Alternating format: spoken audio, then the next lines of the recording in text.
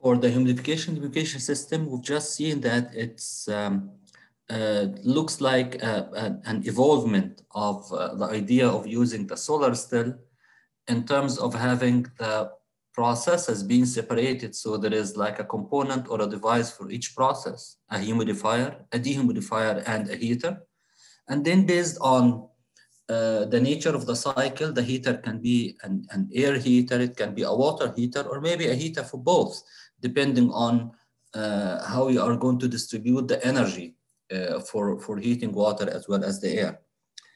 Uh, just to remind you, the reason for heating is uh, we are using air as a carrier gas and air ability to absorb moisture increases at higher temperature. That's why we tend to increase the temperature of the air. Not too much, but it's something in the order of uh, maybe 70 to 80 degrees centigrade, which is going to be good enough. We also talked about the, uh, uh, the kind of classification other than the mode of heating air or water. There is uh, the cycle is being um, a closed loop or an open loop for air, closed loop or open loop for the water. Um, and, and, then talking about the cycle being uh, a single stage cycle where we have a single humidifier and dehumidifier or a multi-stage uh, cycle like the ones that have been done by Ifak Chafik for the air heating cycle where we had a combination of heater, humidifier, heater, humidifier, and this combination reached up to four uh, maybe in his latest paper of 2006, he said that the fifth is not needed. I mean, it's not adding much. So four stages of heating and humidification. And finally, uh, the humid air is going to be condensed in the dehumidifier where sweet water is being extracted. So, and, and we've seen some of the layouts of these, uh, of these systems, including what we have done ourselves here in the, in the university, be it experimental uh, or uh, theoretical side.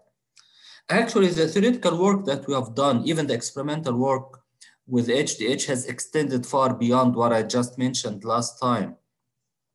Uh, as we are moving in order, uh, what we see here in front of us is uh, some of the ideas that were patented for um, HDH cycles the one that we see in front of us, it seems to be something that that is uh, like a normal thing to uh, to think of because uh, we said that for as as long as we are talking about thermal desalination systems, then the expectations is um, to, to run the system at a lower pressure. We talked about the issue of having um, the MED and the MSF that we mentioned the introduction. This, we said that as you are moving from one uh, stage to the next or from one effect to the next, we reduce the pressure because as the pressure gets lower, uh, there's more vapor that's going to be, with, which is like the saturation temperature drops and accordingly you can have more vapor or even you can reach for a saturation condition at a low pressure, which is, uh, which is not very high pressure, very high temperature.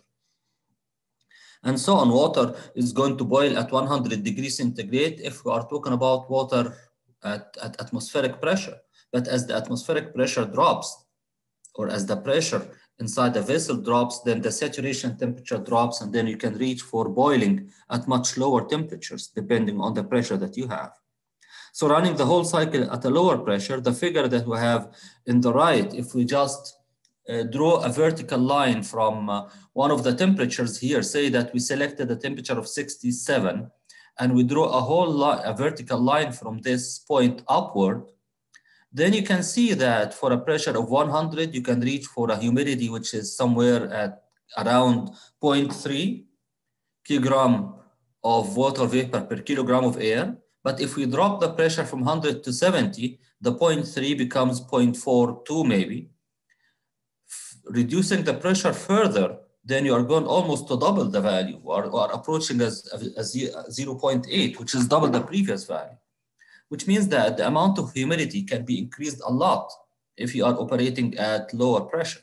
So running the whole cycle at a lower pressure, which can be done using a vacuum pump or maybe naturally here through, through this famous process that probably if you look at the literature, you'll find that some uh, solar stills have been using the same technology by rising the solar still above the ground, something like 10 meters or so. and then creating vacuum inside, and then you have evaporation at lower temperature, and then more water would come in.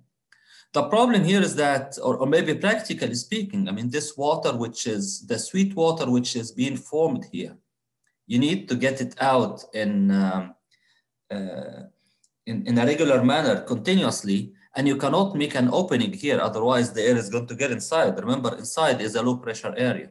So there's something here, technically speaking, it's not even the issue with the evacuated, with the freezing refrigeration has a similar problem if you are adopting freezing with, uh, with low pressure, like using an ejector or so.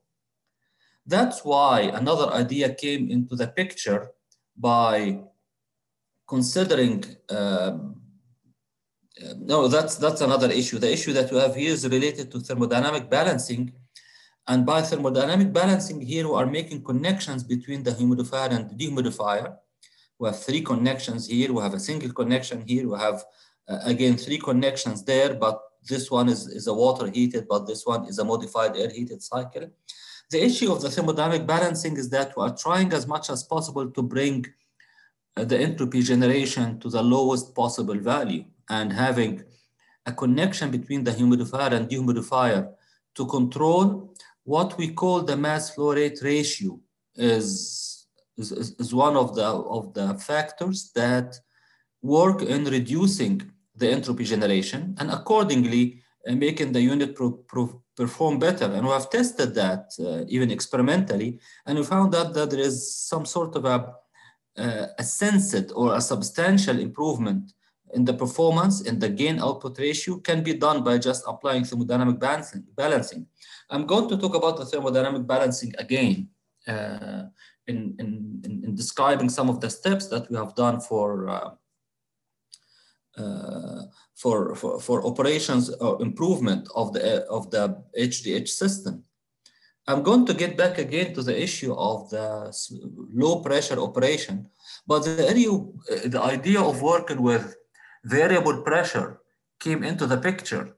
What is it that we need to operate at low pressure? This is where we need evaporation because at low pressure, evaporation occurs at low temperature.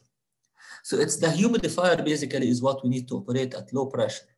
So why should we have the whole system at low pressure if it's only the humidifier is what we want it to be in, in this condition? So the idea of variable pressure or varied pressure uh, system is there. So the humidifier is operating at low pressure and, and definitely temperature, whereas the condenser is operating at atmospheric conditions. Accordingly, you can easily extract the water which is being condensed here. But this is going to need a compressor to increase the pressure from the humidifier level to the dehumidifier level.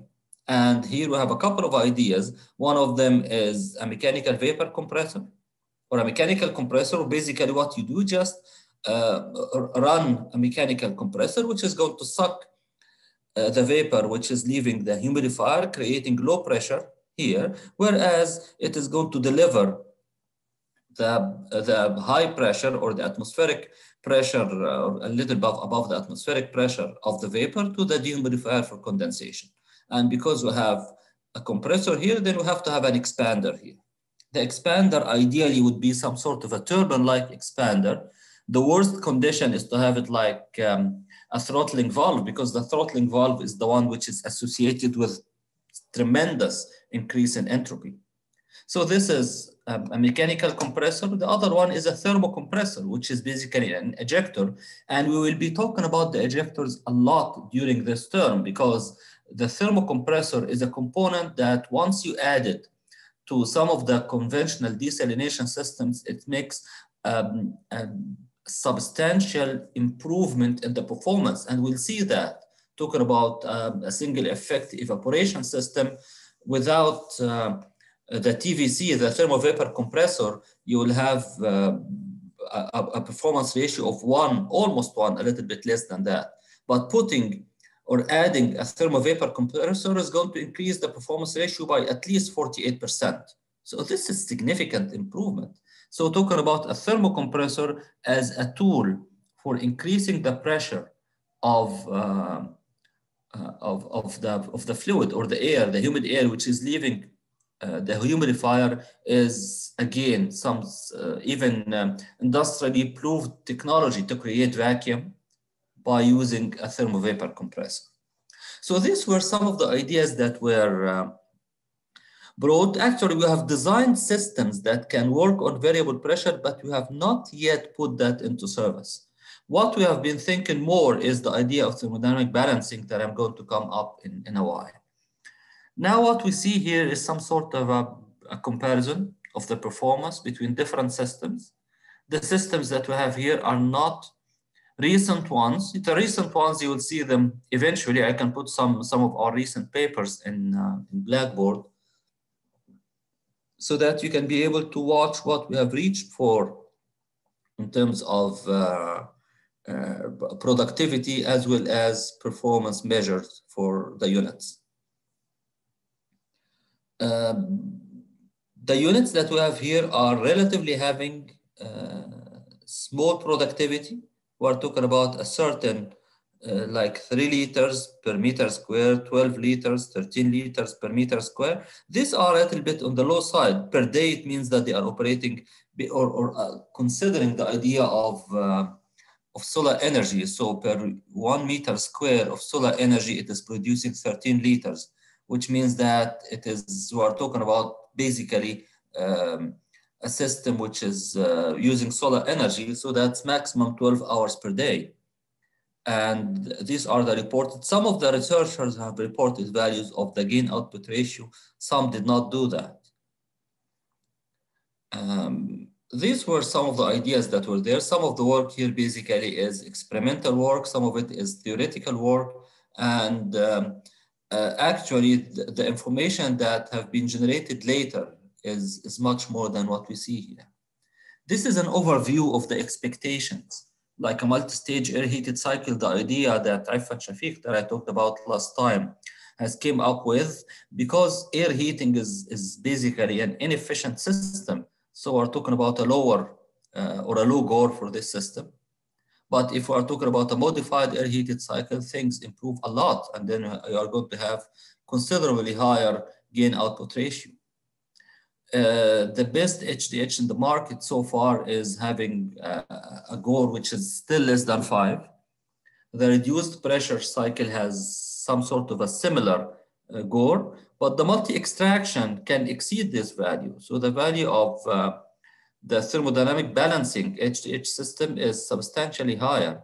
The same thing with the thermovapor compressor, but the thermovapor compressor, the greater than five here is theoretical value, as well as the varied pressure. These are basically theoretical values that were not really up to now realized experimentally uh, in, in a lab or a pilot scale.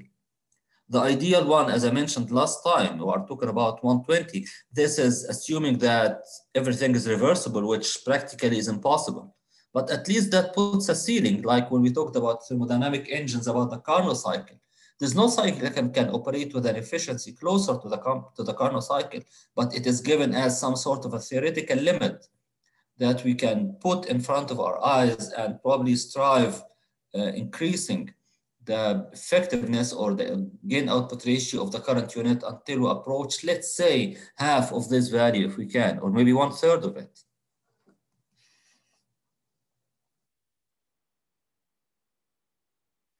Um, the work that we have done, it was an eight-year collaboration with, uh, with MIT, and one of the uh, graduate students there, a PhD student, is Prakash. He has uh, completed his PhD, and then he himself with uh, one of his colleagues who graduated from the chemical engineering department over there, they decided not to search for a job, but create their own company, which is called Gradient. And it's basically adopting the HDH technology. So what we see here in front of us, the two towers of the humidifier and the dehumidifier that are the basic operation of, uh, of the unit. They are adopting the HDH unit here and basically they are not, they are using it, but as I mentioned once before, it's not for desalination but it is basically for frac water treatment. The HDH technology has the ability to deal with extremely high salinity input. And uh, one of the reasons is that because everything is here is, is plastic, nothing is metal. So we're not worried about corrosion. And accordingly, we can just use um, uh, the plastic elements and use whatever quality of water that you have in. They are using basically uh, some sort of solar energy, but not alone, but they are continuing the heating. It's a water heated cycle, and they are using uh, natural gas to, uh, to keep on heating a tremendous quantity of fluid which is coming in uh, to the humidifier.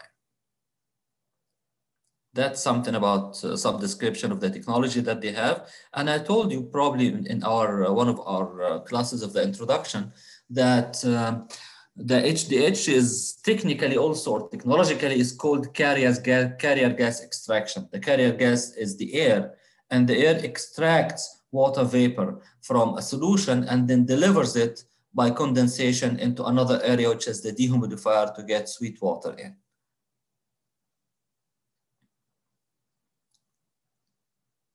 Okay.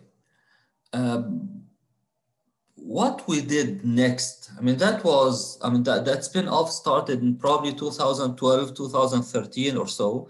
And then after that, we went back, back again to, uh, to the lab to come up with other uh, modifications or other versions of the HDH cycles. So went back not only for the lab actually, but even for uh, some um, simulation work to, to take care of, uh, of this cycle. Maybe before talking about uh, our further modifications to the cycle, it is probably a time that we look at uh, the main assumptions that you have for a cycle. The figure that you have here in front of you is basically considering uh, a water heated cycle and uh, when you look at this cycle, you'll find that we have a closed loop for the air. So air basically is moving from the dehumidifier. It is leaving here at a low temperature, saturated. It will enter into the humidifier. It will receive energy from the heated water. So it will be heated, humidified. It will also leave at higher temperature, also saturated. And then the high temperature saturated air is going to enter to the dehumidifier where it is going to transfer heat uh, to the hot to the cold water which is coming here. The cold water is coming in pipes inside the pipes. And air is passing outside the pipes. So the pipe surface is cold for condensation of the humid air. And then the condensate is going to be collected as a product whereas the air is going to leave to continue its uh, its rotation, its cycle, whereas the water is going to get some hot, some heat from the hot air, and this is energy recovery, and then it will be further heated to the top temperature. So the temperature here basically is the temperature after the heater, water before it is sprayed in the humidifier. This is the hottest portion of it, and then it will be sprayed here, and then we have packing material structured packing so that we can have the lowest possible uh, pressure losses within the system, providing enough surface area for heat and mass transfer to take place. Some of the water is going to be evaporated, carried by the air as humid air, and the rest that will not evaporate is going to be rejected or thrown away to the surroundings. We may, in one occasion, try to close the loop for the water, but in order to do that, this temperature of the water should be low enough so that it would be effectively condensing the vapor here, the, the, the humid air. Otherwise, if this one is higher in temperature, we cannot reroute it back again as it would, uh, it would affect the condensation process. Now it's time probably to look at the components one by one and uh, do some sort of an energy balance. So what we are going to do basically is rather than going for detailed analysis of each component, detailed analysis, I would mean that probably somebody can think of a numerical model or analytical model where the humidifier might be looked at as um, as if it's a cooling tower and and take it like uh, cutting it into um, certain number or n number of strips and making an energy and mass balance for each one of these. Or we can look at it as a thermodynamic, uh, thermodynamically closed box and look at the terminals of the box, what's going in and what's leaving out of the unit. And this is basically what, what I'm thinking that we can, uh, we can be better doing for this component. So we're going to assume that we have a humidifier. This is the one. This humidifier is receiving hot water in, and it is also receiving uh, this, this hot water, part of it is going to evaporate and the rest is going to leave here. And then also we have air, which is coming here. Air is going to move up and then the humid air is going to leave the unit where it will, it will be, after leaving the unit, it will be moving into the humidifier, uh, to the dehumidifier. So what we have in front of us here basically is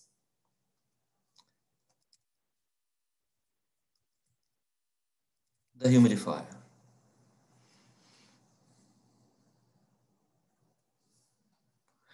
This is air in state number one, and this is air out state number two. And then to keep on with, uh, with the same numbering system, water is going to enter to the dehumidifier as water one. It will receive some energy. It will leave at water two, and then it will pass by a heater. And then here we have water three. Where basically this water, which is being sprayed here, droplets are falling down, whereas the air droplets are moving up. And we have sort of uh, packing material so that we can increase the surface area as much as possible for having effective heat and mass transfer process to occur. So this is basically the kind of flows in and out of the humidifier. When we are looking for the balance, then we have both mass balance and energy balance. If I start with the mass balance, then we have m dot air, this is going in, plus m dot water, this is going in. Then actually the air, I'm going to take it out of this part. Why is that? Because we do assume that the dry air quantity is constant everywhere. So what will happen? The water is going to come here and the water is going to leave except for a quantity that will be evaporated and carried by the air. So the dry air quantities does not change into the component, but what changes is that the water as it enters in, part of it will evaporate and the rest is going to be rejected. Here we call it B stands for brine, which is a salty solution of water. So I can rewrite this equation as M dot water, which is entering here,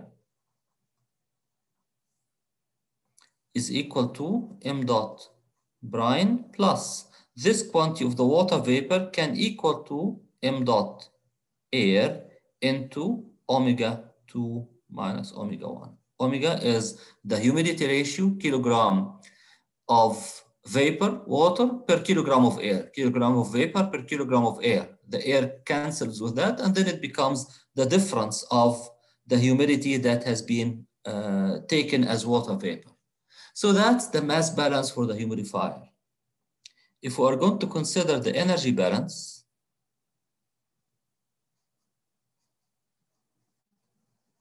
which is nothing but the application of the first law of thermodynamics, then we can say that sigma energy in minus sigma energy out plus energy generated. We don't have energy generated in the system is equal to the energy stored that we are assuming it is not there because we are basically working based on a steady flow operation, which means that sigma energy in is equal to sigma energy out. Here we have two streams in and two streams out. The streams in are basically m dot dry air, enthalpy of the air at state number one, and we have m dot water, enthalpy of the water at three. These are inlets. The exit is going to be m dot air, h air at two, and m dot brine h water at four. Or you may also call it h brine. It's all up to you. So this one, you can call it h water or you can call it h for the brine. So this is the kind of mass and energy balance between them. We know that m dot b, which is this quantity, is nothing but m dot water minus the quantity that has evaporated, which is m dot air into the difference in the humidity ratio between outlet and inlet of the humidifier.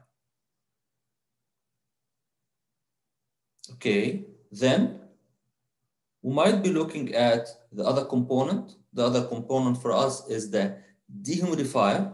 I would erase this and put that dehumidifier. If somebody has a question, please let me know before I do that.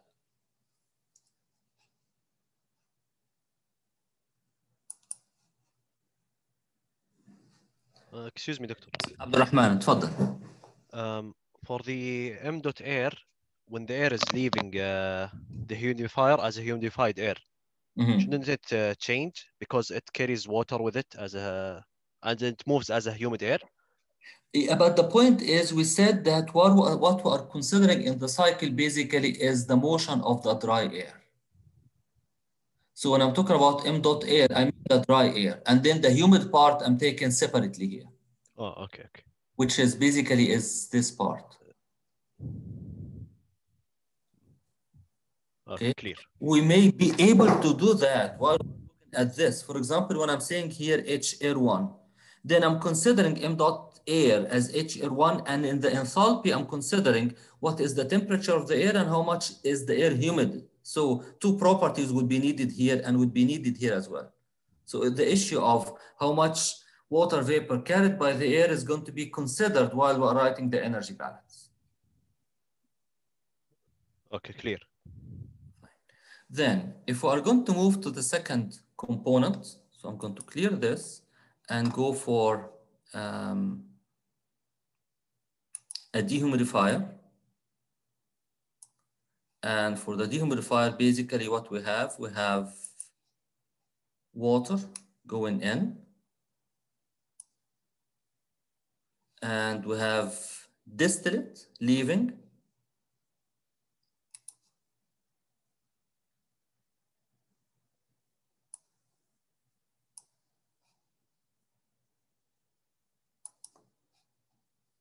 sorry. Yeah, say it, let me say that this is leaving from here and let me erase this.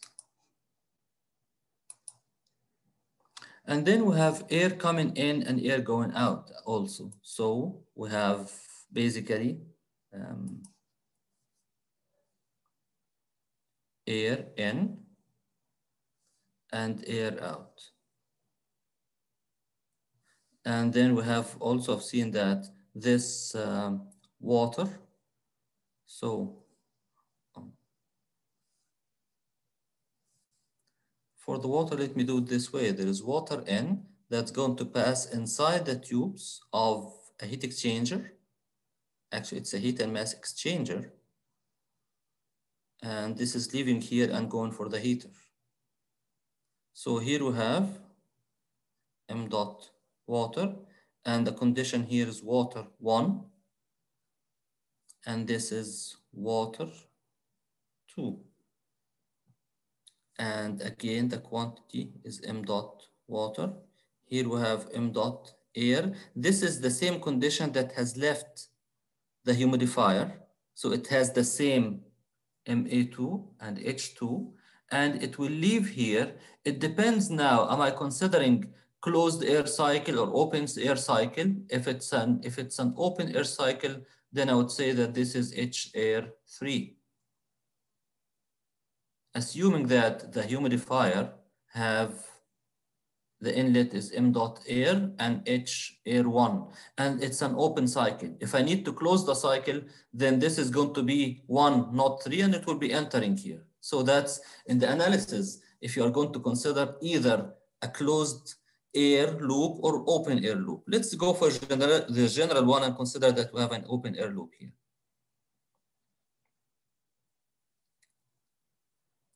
So these are basically the, the kind of, of terms that we have here. We have air in and out, we have water in and out, and then we have a distillate which is, uh, which is leaving here. When we come to the energy, to the mass balance,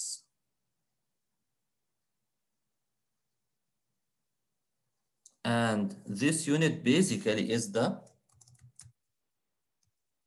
humidifier.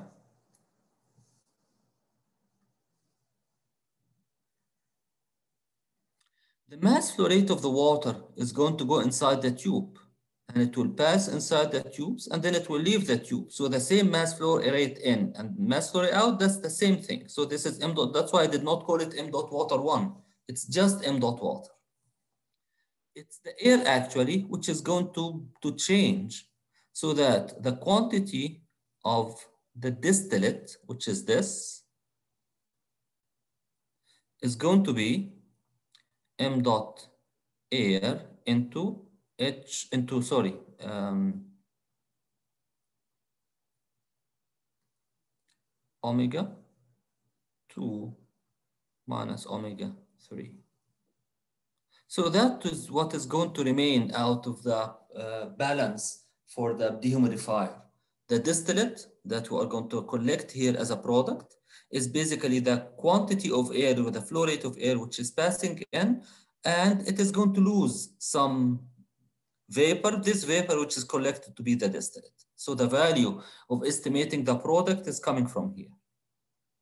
Then going for the energy balance, we're going to do the same thing here.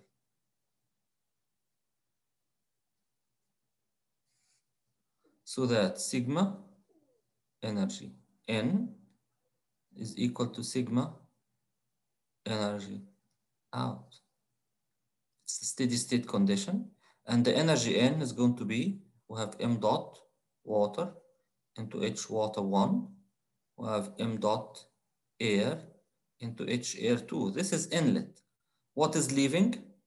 M dot water, H water two, and this is higher because the, the energy recovery has increased the amount of energy associated with the water because heat transfer from the hot air and the latent heat of condensation, they all contributed to preheating the water. That's energy recovery. And we have air leaving, m dot air at h air 3, and we have m dot distillate in into H distillate. Now, in order to be able to solve that, the problems that we are that we are putting here, actually, there's still there's one one still component that did not talk uh, talk about, which is so for assuming that we have a water heated cycle, then this is going to be m dot water, and this is h water two, and it's leaving at h water three, and there is heat given here in the heater and the heat could be either electric heater or a solar collector or process heater or some sort of waste heat that you have here and there. But anyway, it needs energy uh, to operate, which is m dot uh, water into h water 3 minus h water 2. There's no need for any mass balance because m dot water in and m dot water out. Now, this is the energy balance, mass balance, and first law thermodynamics to each component or each one of the three components that we have. Um, maybe um, I, I, can switch now to the, to the presentation, which is going to show the same thing. And it may add a little bit to that by writing like a second law analysis. For the second law analysis, we know that the sigma M E S E M in M exit S exit, exit is the S is the entropy, minus MISI is equal basically to the entropy generation, assuming that there's no energy transfer uh, with the surroundings. So that that's going to be applied to each one of the components that we have in front of us, and we're going to get that. So we have seen this equation for the humidifier that m dot water minus m dot air into the difference in humidity ratio for the air, which is the quantity that has evaporated, is equal to the m dot brine, which is rejected from the humidifier. And then m dot brine, H water 3, this is rejected. M dot water, H water 2, which is the inlet. Uh, note here that there's a difference between this and what I did on, papers, because on papers I code this T water 1, and then here we have T water 2, T water 3, T water 4. Here he called it T water 0, T water 1, T water 2, T water 3. You can call it anything, but just be consistent while you are solving the problem in hand or analyzing the system that you have in hand. So m dot uh, b h water, this is rejected brine, minus, this is inlet, so this is energy out, this is energy n associated with the water. And for the air, we have energy in and energy out. So when you put that, you'll find that sigma energy out is equal to sigma energy in. The equation of the second law here, it says that um, S generated or the generated entropy is basically sigma m dot exit S exit and the m dot exit S exit here is basically three and two. These are in positive. The inlet is m dot water S water two. This is inlet and m dot air S air one. This is inlet. So sigma m dot S exit is equal or minus sigma m dot into S inlet is equal to the entropy generation. So that's the second law equation. Then the same thing is being repeated, or this analysis is being repeated for the dehumidifier, showing that the pure water is m dot air into the difference in, um, uh, in, in the absolute uh, or humidity or the humidity ratio. And note that here we are considering a closed water cycle. So the conditions for the water cycle as basically states one and two, that's all. In the previous one I drawn, I have shown that we have three because I have broken this line and I assume that I'm taking air from the atmosphere and then air is rejected to the atmosphere. This particular system that we have in hand, they are all connected together. So it's basically a closed loop air cycle. So this is the difference between this. You have the recording of this uh, class today, and then you may compare between both of them. And if you are going to design a system, it's all up to you. Uh, do you want to make it a closed loop or an open or an open loop cycle? Nothing is going to uh, to prevent you from doing that, except if you have some sort of weather conditions that would require that. I would remember I was talking, uh, I was presenting. Um, in one of the IDA conferences uh, some work that we have done with HDH system. And I said that I was using an open air loop cycle. And then somebody from the audience, he was coming from Canada, he said, I cannot make an open loop cycle because uh, in winter the temperatures is, is, too cold and we cannot just every time look for uh, a, a substantial amount of heat to heat the air. So for them, it was better to make it a closed loop. For me, I was just combining the HDH cycle with a vapor compression system. So we needed the air to be coming from the outside because this air after that is going to be cooled down and entered into a place for conditioning. So it depends on uh, your limitations, local limitations of the environment that you have, and to what is it that you want to do with the cycle. For the dehumidifier, again, the energy balance, we have uh, water leaving. So this is m dot into h water leaving minus m dot h water inlet. This is the fresh water which is leaving. And this is again the air which is entering minus the air which is leaving. So again, uh, sigma m dot EHE is equal to sigma m dot IHI. And the entropy uh, equation or the second law equation here as S generated is equal to sigma MESE minus sigma MISI. Now, when we are coming to solve the system, then we are going to face a couple of problems. Number one, we should decide what kind of input values that we have to, to use. And number two, what are the assumptions that we are going to make? For example, some of the assumptions that would make sense for a system like the one that we have in hand here. The air that gets into the humidifier is going to leave with a value of the phi relative humidity close to one. So assuming phi equal to one is a valid assumption. You have air coming in, hot water is leaving out, so the air is going to reach its saturation condition before it leaves the humidifier. And it will enter with the same saturation condition. And then when it leaves, it will also leave with the saturation condition. Remember that as the air, the humid air is passing here, it will condense over the tubes. Condensation means that you have reached for the dew point temperature of the water vapor in the air. So the air is basically saturated. So phi is equal to one here and phi is equal to one there, but the omega is not because omega is a function of temperature. And that's why basically we are heating, we're adding heat to the humidifier. We are entering saturated air, but as you are heating the air, it needs more vapor. It's able to take more vapor there. So the value of omega between this state, state one, and state two for the air is going to be different. Omega will not be the same, but phi is the same because it's a relative humidity. It just means that air in this condition and in that condition are basically saturated air. So this is an assumption, phi equal to one and one here. Then we have to come up with what is the temperature of the water which is coming in here and how much is the flow rate. And either you should identify what is the quantity of energy that you are going to add or not talk about the energy, but assume that I need to reach for a maximum temperature of 80 degrees centigrade.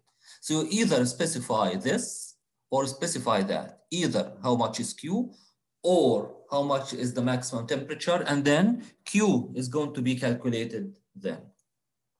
Mass flow rate of the water should be given, mass flow rate of the air should be given. So for the air, I just have the mass flow rate and we're assuming that phi is equal to one, and here's phi equal to one in this condition as well. When we do that, we'll find that there are some information that are still missing. The mass flow rate of the air would be given, mass flow rate of the water would be given as a value, but still you find that the number of equations and number, number of unknowns are not matching. They are not the same. This is why we come to the definition of the effectiveness of the humidifier and the effectiveness of the dehumidifier. So this is something that we would come up with to complete the number of equations that we have. And actually this uh, definition of the effectiveness, it has gone through different phases of or, or evolvement. It has been evolving since we started uh, learning or studying the HDH system up to uh, currently we had just uh, a couple of months ago we have sent a paper for the energy conversion and, and management uh, journal where we are coming with a new definition of the effectiveness. And uh, we just today we got some response that some of the reviewers need some clarification of some of the points that we need to clarify before we submit again. And I'll share that uh, paper with you once it is uh, once it is accepted, inshallah. Um, the idea that it, it carries, as I mentioned, the issue of how the definition of the effectiveness has evolved. And I'm coming to that like a step by step. The heater, Qn is equal m dot water into the difference. Maybe uh, an acceptable definition you would be, if you say it because this is water, you can say that this is basically m dot water into Cp water into T water 2 minus T water 1. We cannot do that for the air, remember. We can only do it for the water. Why cannot we do it for the air? Because the air is not dry air, it's a humid air. And accordingly, the enthalpy of the air, a substantial part of it is related to the humidity. And this equation does not have humidity. So I cannot write Q, if I'm talking about an air heater, Q air is m dot air Cp delta T. In our analysis, this is not accepted. Why not accepted? Because we are dealing with with, with humid air, not dry air. So this is one of the common mistakes we normally find when we are analyzing this kind of, uh, of, of systems. Here's the effectiveness.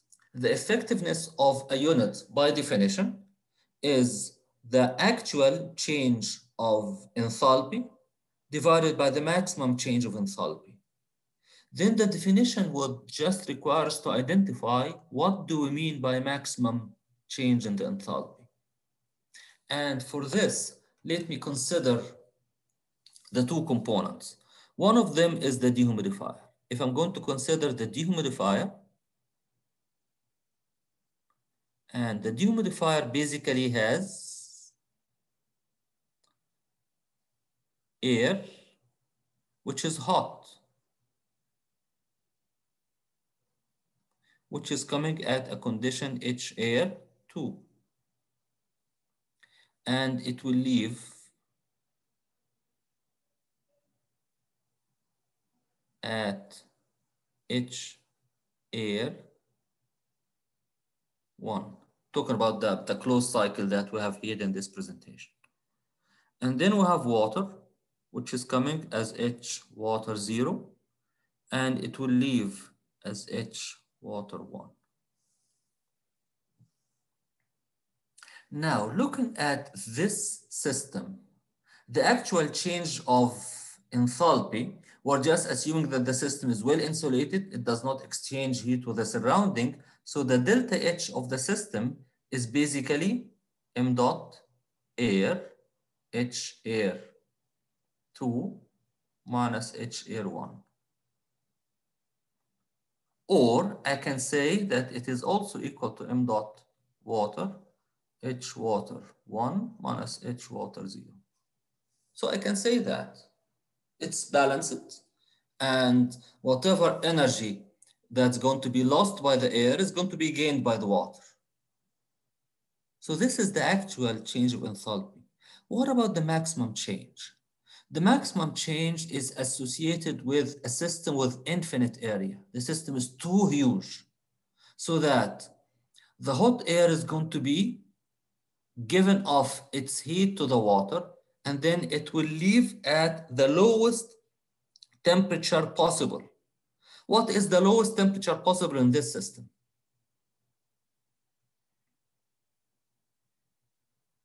Any answer? Hot air is coming and it is going into colder surface that has the water in. It will keep cooling down. If the system is infinitely large, the lowest temperature of the air will be? Same as the seawater? Should, yes, should same as the ended seawater temperature because this is the cold temperature coming in. So the delta T maximum here from the air side is going to be m dot air delta H maximum can be m dot air H air 2 minus H air ideal. And by ideal here, it means air at T water zero. Or alternatively, I can look at this condition differently. I can say that delta H maximum is m dot water H water, sorry, H water 2 ideal minus H water 1. 1 is the inlet condition. It's not changing.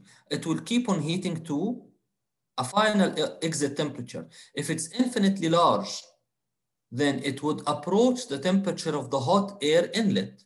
So this one is going to be temperature of the water at T air 2 or H of the water at a temperature equal to T air 2. Can the system practically reach these values? The answer is no, but this is the, this is the maximum limit and this is how we need to identify an, an effectiveness. like when we talked about the effectiveness of, of, heat exchangers in a heat exchanger course, it was basically the same thing. The only difference is that because for a heat exchanger course, we're basically dealing with liquids in heat exchangers. So it was basically MCP delta T. So the effectiveness was given in terms of temperature differences. Here we cannot do that because basically we are talking about a combined heat, heat and mass transfer components. So for a humidifier, that was basically the condition. And if you have noticed here, the smallest, uh, I'm coming to this in a while, the, the differences, we are basically considering the effectiveness as related to the terminal values. By terminal values, I mean the values at the inlet and at the exit of the unit. So I'm comparing this with this, with this and I'm looking at this with this. Or in other words, I'm looking at the differences at the terminals. Am I able to heat the water to this temperature? No. How much is less? Am I able to cool the air to this temperature? No. How much is the difference? So based on the differences in the terminal values, I'm looking at what's, what is the result. Inside the unit, the values are quite big. The air is too hot, the water is too cold. So they approach each other only at the terminals. Air has cooled down so that it gets closer to the water temperature. Water has heated up so it gets closer at the air temperature, but inside the unit, the difference of temperature between air and water in every location is much higher than these values or these values. So the minimum differences, this difference is what we call pinch value. So the pinch temperature difference here in the dehumidifier is found at the terminal conditions, either at the inlet, where the two streams are cold, water is coming cold, and he and air has already lost its heat and it's going out colder. Or the exit, where water has been heated up while the air is coming hot. So here at the bottom, we have both temperatures are cold. We have a small pinch temperature. At the top, both temperatures are hot, and we're looking at the pinch difference here. For the, for the dehumidifier, it's pretty straightforward. What I said here is what we are doing and what we shall be doing.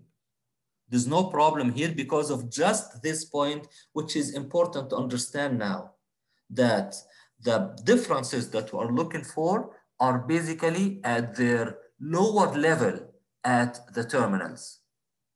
Water in, air out. Air is being cooled down and water is already cold water out and air in. Air in is coming already hot, but the water out has been heated due to the condensation process inside the dehumidifier. Generally speaking, we are looking for the effectiveness, which is delta H actual over delta H maximum. And I would hope that it is pretty straightforward when we are talking about uh, the dehumidifier case. And then we're going to talk about it for the humidifier. And initially, we're going to talk about the same concept, looking at the terminal and the pinch values. And based on that, we are defining the effectiveness of the humidifier. The GOR or the gain output ratio, we define that uh, Doctor? of efficiency. Uh, yes. Uh, before we go to the GOR, uh, do we take into consideration the like the time, how long does the hot air stay in the dehumidifier? I mean, to reach uh, higher effectiveness, we could leave it like for longer time to reach near the maximum. Yeah, actually what we do is that we do this operation whenever we reach the steady state condition. So we run the unit and wait for some time until the temperature settles down so that no changes after that. And then we start to do our analysis. It's not a transient sort of thing where we are waiting for to reach a steady state condition and temperatures would settle down. This is after they settle down. And as a matter of fact, I can tell you that almost all the engineering equipment that we are dealing with in the industry are like that. I mean, whenever you are analyzing a furnace, you are not looking at the start up or the shutdown of the furnace. You are looking in between where the furnace is operating and just given its duty in a constant value. Same thing applies for a turbine in a gas turbine or a steam turbine. So we're talking about basically steady state condition where there's no changes that are occurring with time. Okay? Yes, yes, one. I, did not leave the effectiveness. I'm going back again and again to, into it. I'm just here because the definition of the GOR is there. I'm just mentioning it, that it is the pure water that we are getting into the latent heat of condensation divided by the energy into the system. The definition of the effectiveness is being given here. And you will notice here that I'm giving this page for the definition of the effectiveness of the humidifier. In the humidifier,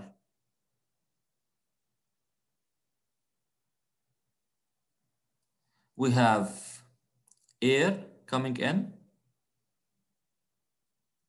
and air leaving. And we have water coming in, which is water at two, and it is leaving here as brine or water three.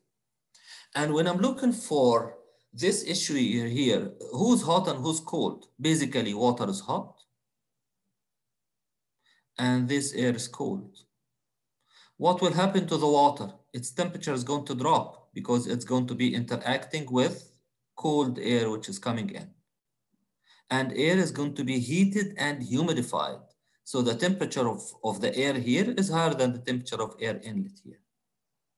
If at this moment I take the same concept of definition for the effectiveness as I did for the dehumidifier, I'm going to write it as this delta H over delta H maximum. And the definition of delta H maximum is going to follow the same thing I did earlier. So that it would be either m dot air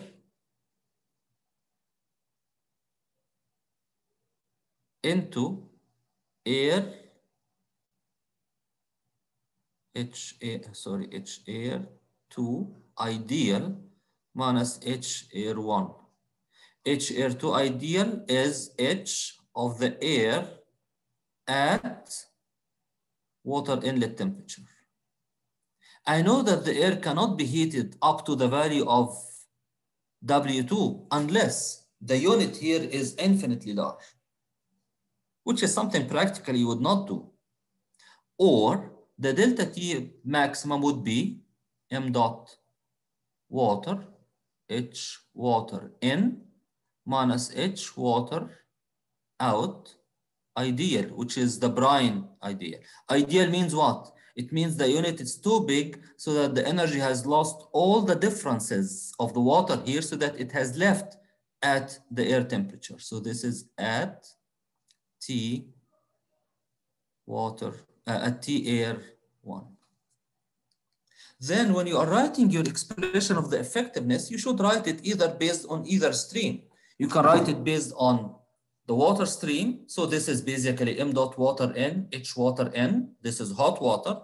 It is leaving as h water out, m water out. And the differences are not, are m water in and m water out are not the same because this is water and this is brine. Divided by m water in, h water in minus m water out ideal. Ideal means what? It means the water has cooled down to the inlet air temperature. Then you can write the effectiveness based on the air side, delta H air over delta maximum, m dot air, H air out minus H air in, m dot air, this is dry air, so it's constant m dot. So it's, I can write this one as uh, m dot air as H air 2 minus H air 1. I can do that. And this one is going to m dot air H ideal, I'm assuming the air is going to be heated until it approaches the maximum ever temperature found here, which is this, minus the inlet condition, which is m dot air H air 1. Then what we do then, we compare between this value and this value, and we take the higher value. And we say that this is the effectiveness of the humidifier. So basically, we take effectiveness of the humidifier as the maximum between the effectiveness for the water side and effectiveness of the air side. And we do the same for the dehumidifier as well. You take the highest value.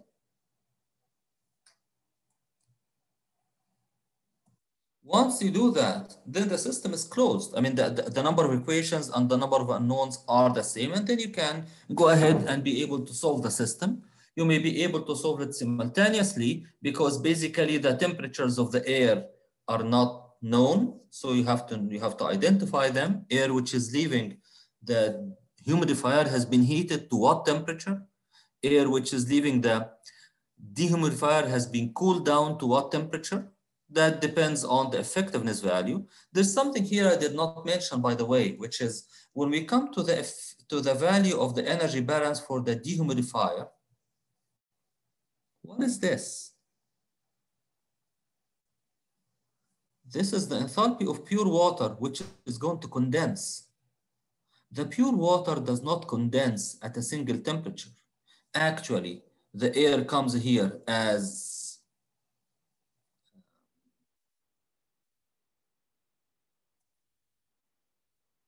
high temperature. So here coming as hot and humid. And it would leave here as cold air. So what will happen? Air temperature will keep on decreasing as it passes through the dehumidifier.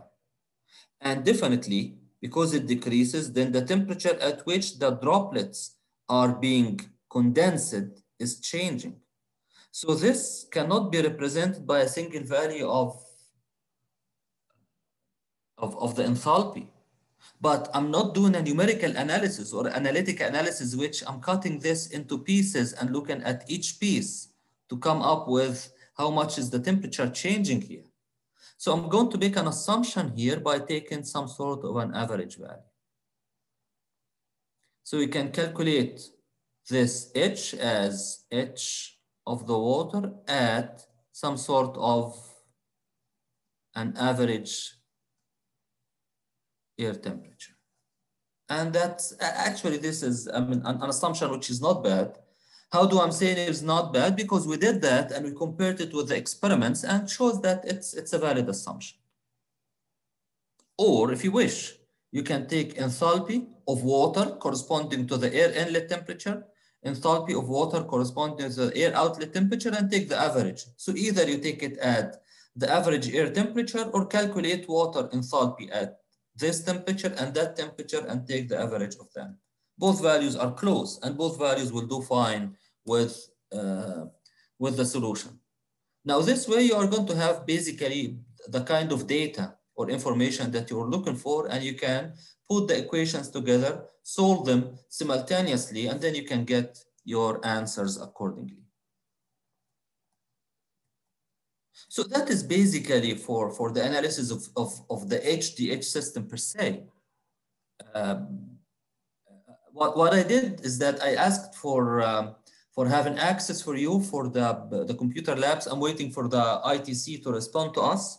So um, we'll try to make an access for every one of you for one of the computers that we have in our computer lab so that if you cannot come to the, uh, to the, to the computer labs yourself, you should be from your locations you are going to get uh, enabling through the VPN and be able to access the computer remotely where you can run the EES. If you have the EES in, in, with you, that, that would be great. But I assume that you do not. And accordingly, we'll try to make it available through this uh, remote uh, access to the computers in our lab so that you can run the system. Uh, this program, for example, has been, uh, we've done it several times using uh, the engineering equation solver and uh, maybe you can see in front of you here, this is a screenshot of uh, an energy equation solver program that, uh, sorry, um, EES engineering equation solver uh, for um, a system. The system that we are making here basically is, um, um, um is this.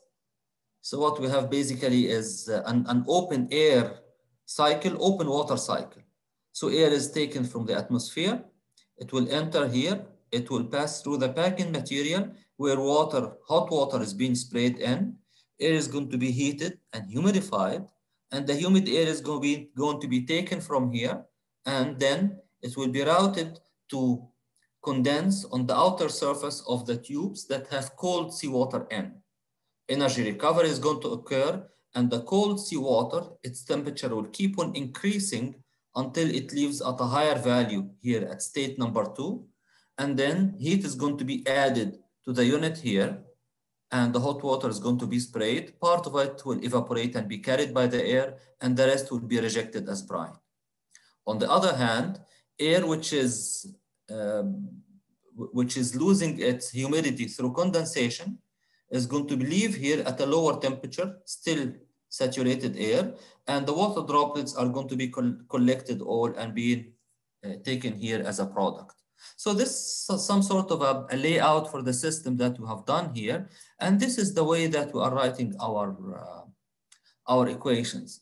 Uh, what's good about the EES is that you don't have to, uh, to put uh, uh, some sort of a semicolon at the end of every line. You don't have to order the equations sequentially. You can write them in any order. And it is not necessary that uh, the unknown is on the left. But actually in the left side, you can have some sort of an energy equation like A plus B is equal to C plus D. This is accepted. You don't have to put it in a way that A is equal to B plus D minus C, something like, you don't have to do that. So, um, and this gives some flexibility in, in, writing. One more thing is, or one benefit uh, out of using the EES is that it has a database that has properties of the materials that we need. Basically in the HDH system, we are dealing with the air and water, but even the seawater properties, the updated and accurate seawater properties are being included here. So you don't have to worry. You can see here when I'm writing the properties, for example, enthalpy of the air is a function of temperature, relative humidity, and pressure. So I'm, I'm not given the values, but the values are being using, uh, or they are using basically the kind of, uh, uh, of, of database of property which is there. The data that we have instead of putting the mass flow rate of the water and mass rate of, rate of the air, I'm, I'm writing the MR, which is the ratio, because the mass flow rate ratio is one of the important parameters that we have for the HDH system. So M dot water over M dot air is an important parameter to take. And I'm assuming M dot water over M dot air here at a certain value, say 2.5. I'm defining how much is the M dot water. And accordingly, m dot air is being calculated automatically from this equation on the top. T minimum is the water temperature entering into the dehumidifier. And in this equation, I'm not, I'm not giving Q. This curly bracket, it means that this line is not being read by the program. So I'm, I'm not given the value of Q. Rather, I'm given the value of T maximum. And Q is going to be calculated as m dot water into Cp into the temperature difference. I could have done the program without writing the CP. I can put it as a property. CP as a function of temperature, it, it can be given. I'm assuming the values of effectiveness for the dehumidifier and the humidifier as 0.7. And you see here, I'm putting the expressions of the effectiveness for the humidifier based on the air side and based on the water side, and I'm taking the maximum value of them. The same thing applies for the dehumidifier as well. Effectiveness of the dehumidifier from the air side, from the water side, and I'm taking the maximum value of them. And then the ideal value for the H air in the dehumidifier is being considered here. And the same thing applies for the humidifier is there. So ideal parameters used in determining the maximum enthalpy difference are being given here. And as I mentioned, the, the, the order of writing the equation does not matter. You can write any equation before any equation. What is more important here is that number of equations and number of unknowns is the same. Otherwise, the program will not run. Um, and then uh, anything which is written in curly bracket, brackets, it's a comment, it's not being executed. Anything is related between these quotations is again a comment which is not executed by the program. So if you need to write comments for yourself, you can put it in curly brackets or you can put it into the double quotation that we have here. And then I'm defining T air, uh, phi of the air. Uh, this is the inlet air. It's, it's an open air system. So I'm taking air from the atmosphere. And that's why I'm putting value of phi is equal to 0.5. And this is how to use the system properties in calculating enthalpy, humidity ratio, entropy, and density. How to do that? It is simply by getting into the options, function information, and thermodynamic properties And here I'm dealing with air, water conditions or air water, uh, which is the humid air. And accordingly, here is the, a list of the properties that we need. Say that I'm looking for the enthalpy. So I need enthalpy of air, water, or humid air. And this should be based on information that I know or I'm going to calculate.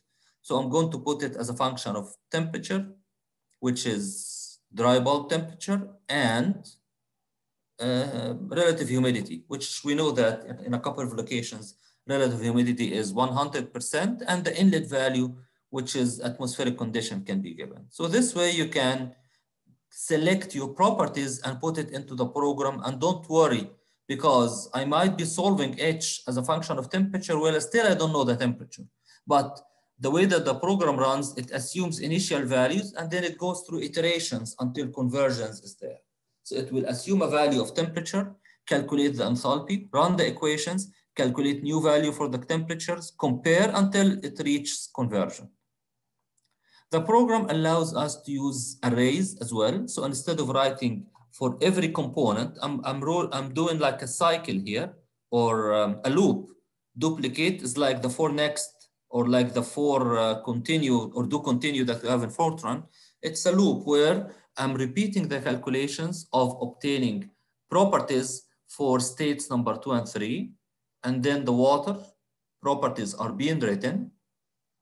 The energy and mass balance equations for the humidifier are given here. And for the dehumidifier are given here as well. And this is the H of the pure water. I'm considering it as H air 2 plus H air 3 divided by 2. HFG is needed for calculations of the GOR, the gain output ratio. The fresh water uh, or the pure water is m dot air into omega 2 minus omega 3. And the brine leaving the dehumidifier is m dot water into m dot fresh water. The GOR is going to be calculated and the product basically is, uh, I'm multiplying by 3,600 because I need to see how much is the energy, uh, how much is the water produced per hour to run the system, we just click on this calculator and it has solved the problem. And here are, this is like, because I selected an array, so the values of the results are given in terms of array here. Water enters at 30 degrees centigrade. This is the cold side temperature in the dehumidifier. It will recover energy, so it will be heat by the hot air. It leaves the unit the dehumidifier at 56 degrees centigrade. It will enter to the humidifier to be sprayed in this temperature uh, where it will lose energy to the air coming and the brine will be rejected at 42 degrees centigrade. Uh, so, sorry, this is the temperature for, uh, for the air. Air is coming to be at 30 degrees centigrade. It will be heated in the humidifier to 56 it will cool down in the dehumidifier and leave at 42 degrees centigrade. Water will enter at low temperature of 30. It will be heated in the dehumidifier through energy recovery to 45 almost.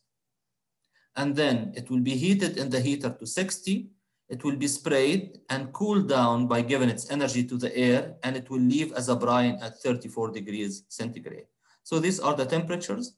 Values of the omega are here. Air at ambient condition, air after being humidified, and then after leaving the dehumidifier. And this is the enthalpy of the water and enthalpy of the air. Then the solution window is given here, where the GOR of this system is given as 0.9, and we're getting like six liters per hour of water in this system. And the system needs a heater of 4.4 kilowatts of operation. So this is one way that you can look at, uh, at the system. The freedom that are given to us here with this system is that you can change some of the parameters. What if I used a better uh, humidifier and dehumidifier? I, I, should not change both of them at the same time. I'm flexible to change any one at any time. And then you are getting the values and you look at the GOR. You see here you get substantially higher GOR from 0.9 up to 1.8 by just having better components, more effective humidifier and dehumidifier, where the GOR has increased, the energy which is needed is less because the temperature of the water which is leaving the dehumidifier, let's look at it, which is T water, it is basically being heated from 30 to almost 50, 20 degrees of energy recovery here. And then you only need to heat it from 50 to 60. And that's why the Q is less. In addition, we're having more water, and this is why the GOR has jumped from uh, 0.8 to 1 point or 0. Point, uh, or, or maybe 9, 0.95 or 98 up to 1.8 and the Q has dropped and the fresh water has increased from 6 to 8 liters per hour. So that is basically the benefits of this kind of systems that allows us to uh, run simulations, probably run for a good condition that we can do experimentally and build the system accordingly. Uh, now we reached for the limit for the, our class time. So I'm going to stop here and then we're going to continue again with the HDH systems in our next class, inshallah. So I'm going to remain for about uh, maybe a couple of minutes or so if somebody had a question. Otherwise, uh, you may leave now if you like.